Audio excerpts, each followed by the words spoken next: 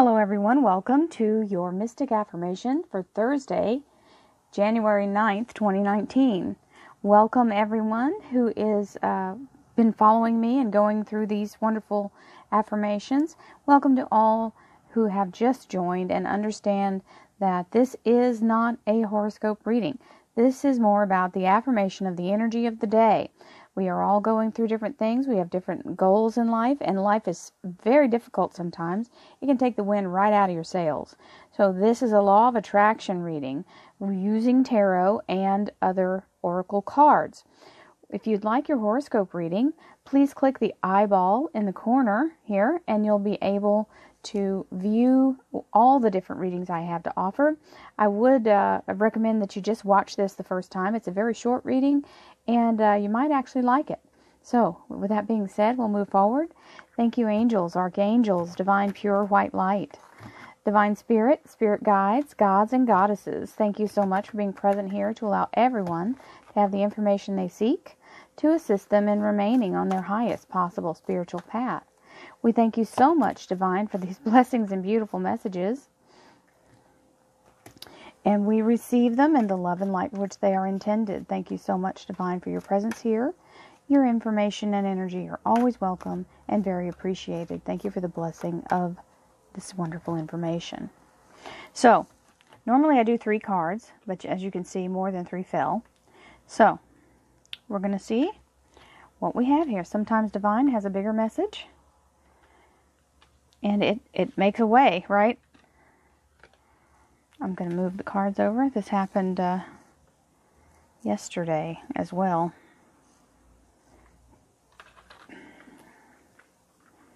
Can't I think it happened in my other reading, my uh, but I can't remember, so I believe it did. No, it might have been this one because I feel like it was these cards.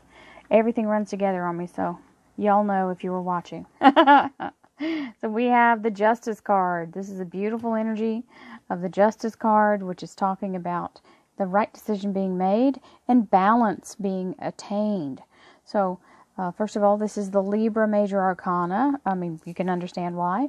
And it's talking about um, keeping yourself in an objective position, not letting um, your typical reaction overwhelm the ability to remain uh, open.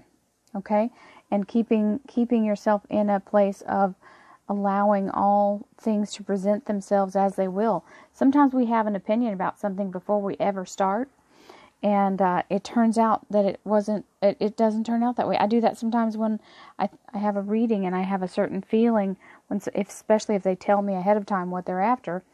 Um, but then when the reading comes out, it it really does. I'm always in a place of being afraid that I'm not going to live up to what they're asking because sometimes it's big stuff and I and I just can't see how in the world the tarot would tell me and it always does. So that's where I have to be in that place of balance and just let it happen. So, communication is the top card. I'm normally not reading the top card, but I figured I kind of think if if I'm doing this one, I might as well do this one too.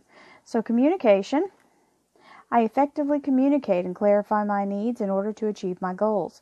Communication is everything.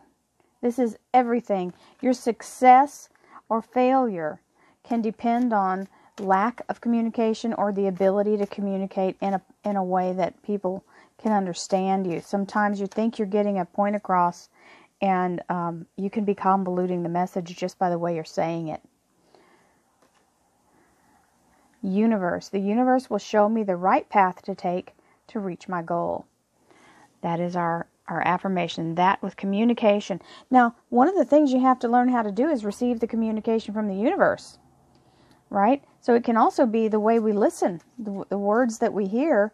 Maybe we don't, we've got a certain uh, thought about what that word means, or we take a, an, we get a, an offended and, and a defensive position against it when it's really just trying to get your attention and tell you something. So please examine something if you feel um, that you feeling, uh, look at why. Maybe it's you. Compromise, that's very important. In the communication process, there is always something that gets told that uh, may not line up completely. And to in order for success, we have to be in the balance. So sometimes we have to compromise in a good way, okay? Uh, because by giving, you get. So if you compromise, you can help further your cause by allowing other people's opinions or whoever it is you're trying to work this out with to uh, to have their say so that you can understand where they're coming from and how to get around whatever the um, the block is right? Emergence. The frequency of emergence invites us to approach our reality with a childlike attitude of innocence and wonderment and to watch and celebrate the beauty that unfolds from that place. Sometimes we have to just stand back without any. That's what I do when I read cards. This is how I approach this.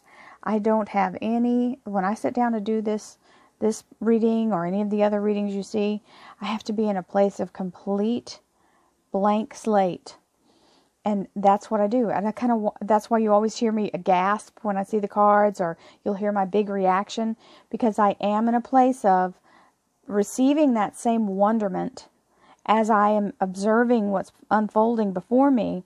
It's still awestruck to me. I still feel like it's a very, very ominous, magical experience every time I read. So the emergence of allowing it to unfold itself when the cards are laid out is part of my my thrill as a reader. So that's that's the thrill of life. That is the thrill of allowing the universe to work itself into its own beautiful. Okay, oh, I'll say here's a really good one. I said it this morning for something completely different, but this is perfect. So if any of you paint, you understand that the whole object, even if you have an idea what you want to paint, is to get the paint on the canvas, right? And and sometimes what you thought you started out to paint, and this happens really kind of eighty percent of the time, it's not what the comes what comes out. What comes out is what its its own thing. It's like a living thing.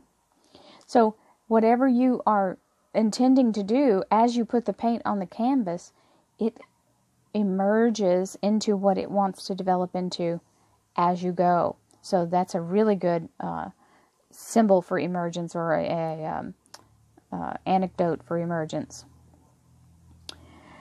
All my relationships are harmonious. Now, the other card we had earlier was communication, and uh, this plays hand in hand. When we create harmony in our minds and hearts, we will find it in our lives. The inner creates the outer always. So, striving for harmonious relationships, and that's with all people, not just a personal, you know, not like a love relationship. That is all, all my relationships are harmonious when you when you strive for harmony within yourself, then it's easier to find it in other people. I love life. It is my birthright to live fully and freely. I give to life exactly what I want life to give to me. I am glad to be alive. I love life. So, this is being in a very, very positive acknowledgement that this is a gift. That life is a gift. We have to be in a place of, of receiving and claiming that we are in a place of a divine, wonderful opportunity here and, and, and cherish it. Now, here we go. We have the King of Pentacles. This is either making a commitment, uh, it can be a financial commitment, it can be going all in on something. This means kind of setting your mind or setting setting the focus. Um, if it is a commitment, it's from you, from you, by you, or for you. And the judgment card, which is looking at where you came from and seeing the past from where you are now. Sometimes that is the moment you need to reflect on you know 5 years ago you know who would have thought you would be here? How, you know, how much you've grown since that? How many things have changed since then? What all had to come and transpire and work itself out? That's when you get to see the magnificence of the universe, really. When you see how everything formulated, and that's where you know when you've seen it happen before, You know that's true now. So if you're in a place that is not where you want to be, this is only temporary, is your thought. We have the Seven of Cups, which you all hear me call the dump truck load of blessings. So this means that it's sort of an avalanche of fortune and good things. This is the universe providing in such a way that it's overwhelming. This is this is the blessings of overflow and abundance of all things.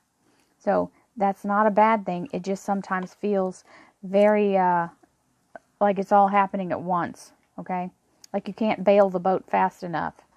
So here's the Hermit, and this is the Virgo Major Arcana energy, which is talking about, and that's also a Virgo energy here. But the Pentacles mean Virgo, Taurus, and Capricorn. So this is Capricorn season. We have the Hermit, which means having introspection. So sometimes we have to look within our inner mirror and allow ourselves to truly see who we are, what we want to be, and how we want to get there. Um, this is where we face our truth, not the not the part where we see our outer body. It is our inner truth. How are we? What is our self talk? How are we going? Are we living up to our whatever our goal is set? And there we are. Now we're in a place of really looking at what we're developing. So the moon card is the manifestation of all of your focus. Now, this is that energy of divine light. We have the two pillars to help balance and center the focus. This is the octa- octa- octahedron. There we go. The octahedron is the double ended diamond shape that is two pyramids joined at the base and it gives you the energy of creation. So as above, so below. The focus in on this on this card is talking about getting yourself in a place of manifestation and visualization and allowing divine to help you do that. So being in a place of expectation and sending the energy that you need to bring what you want to you. So this is the kind of the pivot point of focus here. We're going to allow it to unfold and unveil itself. So the moon is the manifestation of what you've been concentrating your energy towards. So this is the opening of that. With the justice card being balanced and in a place of making good decisions, the right decision being made or the right choice being made. Many blessings to you all. Thank you so much for watching, and I send you all love and light. I'll see you again tomorrow. Namaste.